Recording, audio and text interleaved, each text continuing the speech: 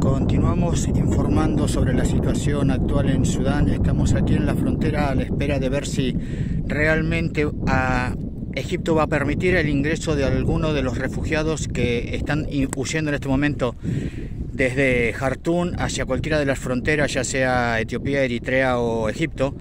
Hasta el momento lo único que hemos podido validar personalmente es que tanto Argin, la frontera terrestre, ha sido cerrada y militarizada. El puerto de Abu Simbel también está bloqueado, cerrado a cualquier tipo de navegación. Ni siquiera hay los botes mínimos que saben estar eh, moviéndose los días de semana de manera cotidiana. Eh, han cerrado completamente el puerto y está militarizado. A mis espaldas pueden ver eh, el Nilo y como pueden observar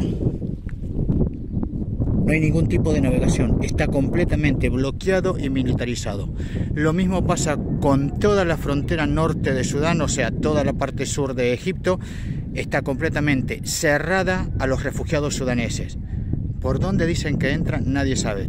Por dónde pasan, tampoco. No hemos visto ningún ciudadano sudanés ingresando a Egipto por el momento.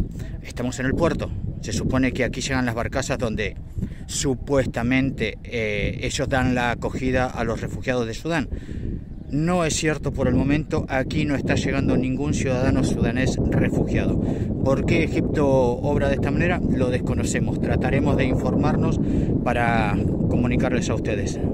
Saludos desde Abu Simbel, el puerto sur de Egipto.